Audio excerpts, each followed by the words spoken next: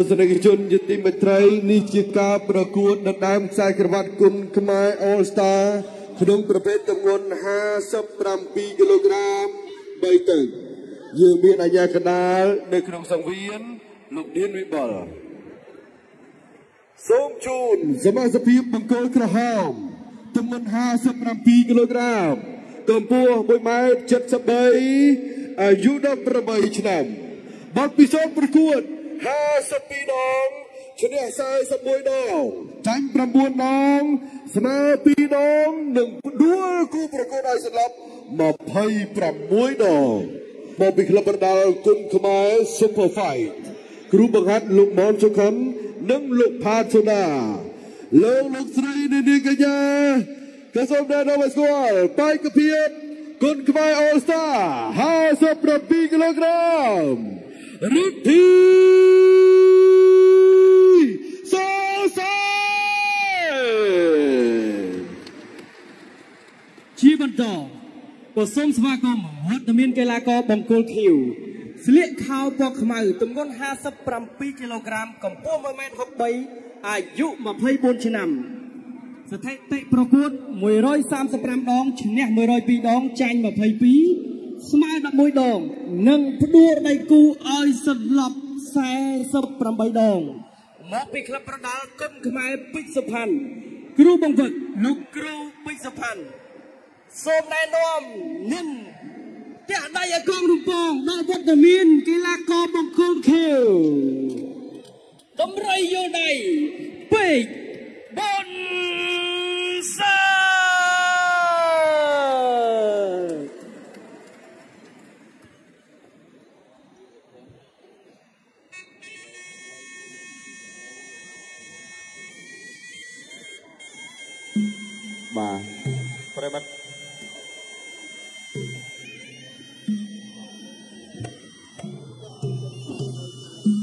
បាទប្រិមត្តទស្សនិកជនជាទីមេត្រីឃើញថាតាំងពីគូ1គូ2គូ3គូ4ធ្លាយមកដល់គូ6នៅតែបន្តមានការឧបត្ថម្ភនៅក្នុងនោះ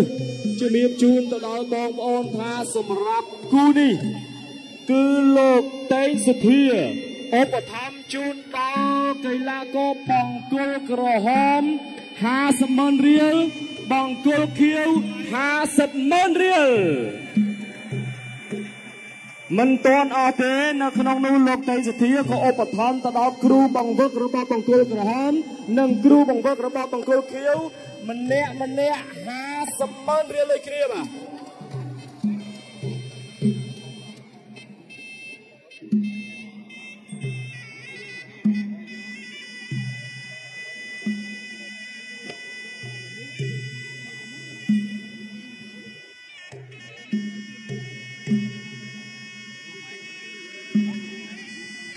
បាទតោះបងប្អូនយើងរៀនស្ងាត់តិចទេនេះឥឡូវកីឡាករគុណគ្រូក៏សូមសម្លេងលើកទឹកចិត្តដល់គ្រូទាំងពីរមួយបាទអរគុណច្រើន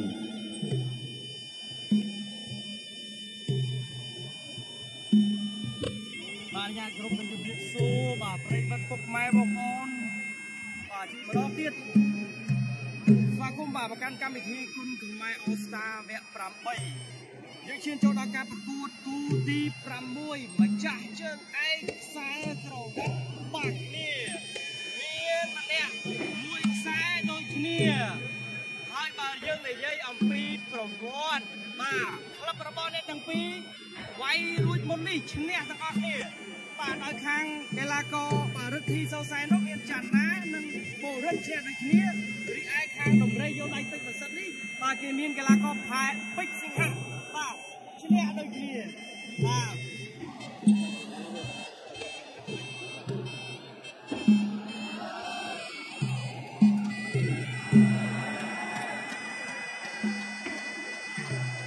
បាទប្រិមត្តពុកម៉ែបងប្អូន បាទសម្រាប់កីឡាករទាំងពីរអ្វីដែលយើងមើលឃើញនោះគឺបាទការថ្វាយបង្គំគ្រូពុតពេនមាន បាទក្បួនខ្នាតវិជ្ជកច្បាស់លាស់បាទរីឯការតុបតែងខ្លួន មានសនូជើងមានប្រថាប់ដៃមានតៃគ្រូបាទនេះគឺជាអត្តសញ្ញាណរបស់គុណខ្មែរយើងបាទនៅក្នុងនោះពេជ្របន្សុទ្ធបាទក៏ថែមបាទអាវយន់គុណខ្មែរសម្រាប់កីឡាករបង្គោលក្រហមក៏ជាម្ចាស់ខ្សែក្រវ៉ាត់មួយរូបដែរមិនខុសពីបង្គោលឃីវទេសូសែនបងប្អូនប្រកាសជាស្គាល់គាត់បានលើកឡើងថា សម្រាប់គាត់បត់ពិសោធន៍ខ្ចីជាងពេជ្របន្សិទ្ធប៉ុន្តែចិត្តគាត់មិនខ្ចីទេបងប្អូនបាទរីឯពេជ្របន្សិទ្ធគាត់បាននិយាយយ៉ាងខ្លីថាខ្សែក្រវ៉ាត់នេះស្អាតណាស់សមនឹងខ្ញុំដល់ហើយតែបងប្អូនគិតថាខ្សែក្រវ៉ាត់នេះបានទៅលើអ្នកណាដែរបងប្អូនបើបានទៅលើបកុលខៀវសុំសំលេងទះដៃមួយបាទបាទ ចុះបើបានទៅលើបកុលក្រហមក៏សូមសំលេងលើកទឹកចិត្តដូចគ្នាបាទបាទនៅក្នុងនោះមានគិនសុងមុននេះឆ្នោតក៏ All Star អបអធិស្ឋានបាទមុននេះលោកបាទលោកតេងសធាឧបត្ថម្ភ2លានរៀលហើយហើយកីឡាករម្នាក់ម្នាក់50ម៉ឺនរៀលនិងគ្រូម្នាក់ម្នាក់50ម៉ឺនរៀលនៅក្នុងនោះលោកសុកគុនឆេងបាទគឺប្រធានក្រុមហ៊ុន SB SBC 369ឧបត្ថម្ភជូនដល់កីឡាករម្នាក់ម្នាក់50ម៉ឺនរៀលបន្ថែមទៀតប្រសិនបើនរណាផ្ដួលដៃគូប្រកួតឲ្យសន្លប់ថែម50ម៉ឺនរៀលពីលើទៀតបាទចុះសួរបងប្អូនគូនេះស្លាប់អត់បងប្អូនបើអត់ស្លាប់សូមសំឡេងមួយចុះបើស្លាប់ បងប្អូនមកហ្នឹងចង់ចង់ឲ្យស្លាប់មកអញ្ចឹងបាទមាន3ទឹកនៅលើសង្វៀនតើស្លាប់ឬមិនស្លាប់ប្រកួតបែបគុណខ្មែរបាទចាំមើលជាក់ស្ដែងទាំងអស់គ្នាបងប្អូន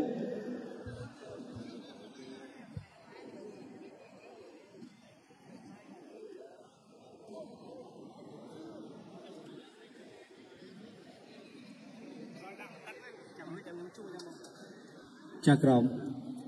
ត្រៀមត្រៀម ត្រៀមត្រៀមប្រងព្រៀបប្រកួតគុណខ្មែរអលស្តាគូដណ្ដើមខ្សែក្រវ៉ាត់ទឹកទី1បាទប្រិមិត្តការប្រកួតដណ្ដើមខ្សែក្រវ៉ាត់ទី2បន្ទាប់ពីខ្សែក្រវ៉ាត់ទី1រកឃើញម្ចាស់ហើយបានទៅលើកូនកណ្ដោជ្រិចដៃលងពិសិដ្ឋដែលបន្តកំណត់ត្រាឈ្នះ30ប្រកួតជាប់គ្នាឥឡូវនេះយើងកន្លែងទៅមើលបាទនេះគេហៅថារបស់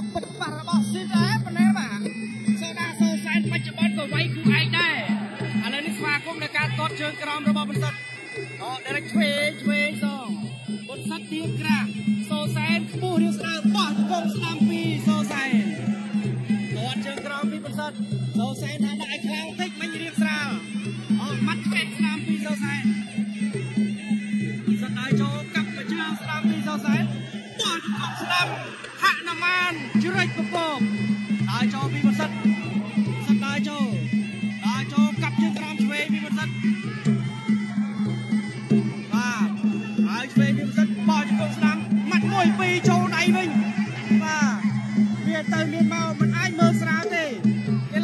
ខុនខ្មែរយើងឡើងមក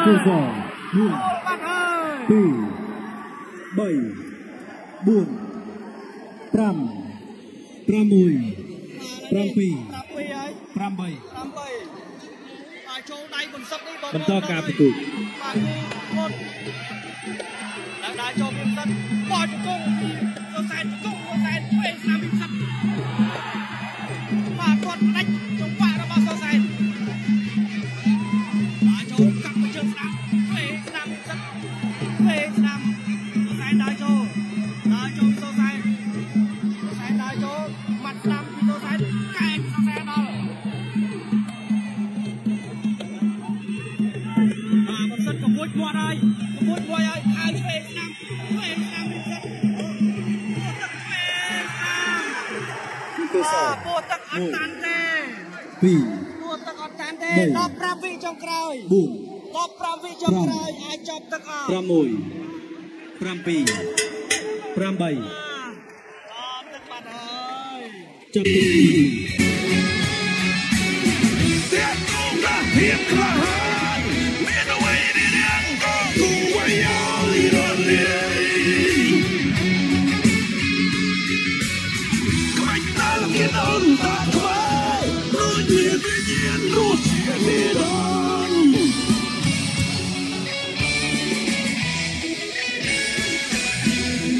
ទនៅទឹកកន្លងផុតទៅឃើញថា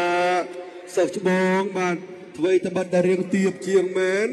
បោះចង្គង់ពីចងាយពីសិស្សប្អូនទៅបាទបុចបុចនឹងមើលដូចទំនងដែរប៉ុន្តែមានឯណាបាទគិនដាប់ដៃរបស់បុណ្យសិទ្ធគឺណែនណែនធ្វើឲ្យសោសែនបាទរាប់ពីរដងហើយតែនៅទឹកចិត្តដ៏មុតមមរបស់សោសែនគឺព្យាយាម រក្សាចំហដើម្បីបន្តការប្រកួតតទៅក្នុងអឺទឹកទី2នាពេលនេះទៀតបាទយើងសូមសម្លេងលើកទឹកចិត្តដល់អ្នកទាំងពីរមួយមកបាទ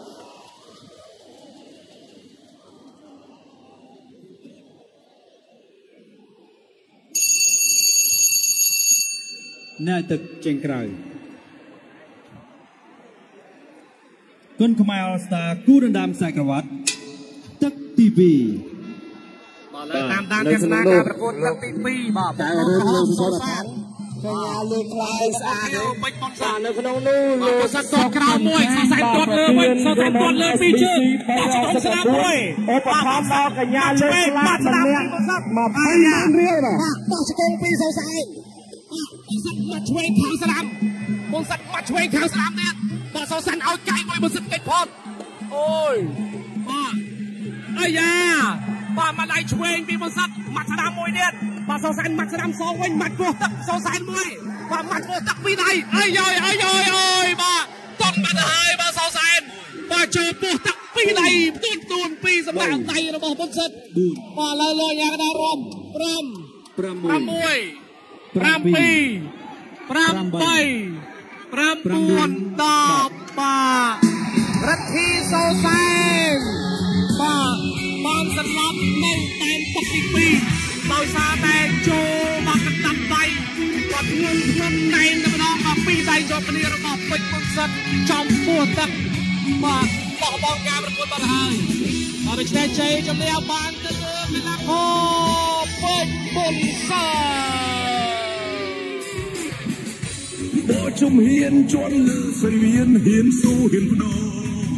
ត Bộ chung hiên chọn lựa phải viên hiên su hiên đô Tụ chỉ chiếm trời ban bóng hô Mình khát mình đô canh trốn lực đá Chắc cái là cô Không biết biết là Tôi ông anh ta đông ham cá cùng tay mê đồ Chân thì cùng tô Sáng nghe chuông lao cửa xa ប្រាប់ខ្លួន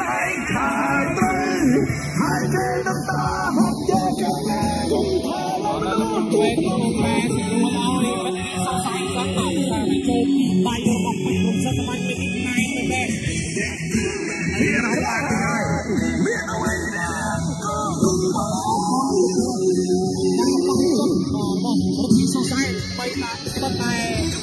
ជ័យដល់សោតជាងរបស់សម្បត្តិមែន lại hai chú ba tất cả đi này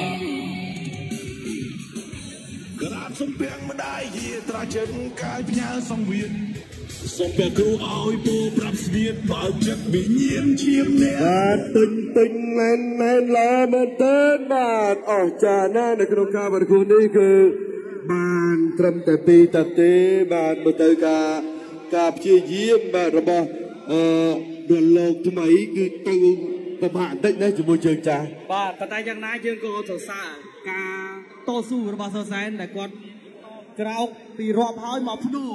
ប៉ុន្តែនៅតែទុកមិនជាប់បាទបាទដូច្នេះតាមរយៈគូផ្ដួលគូប្រកួតឲ្យសន្លប់នៅក្នុងទឹកទី2ជ័យជំនះ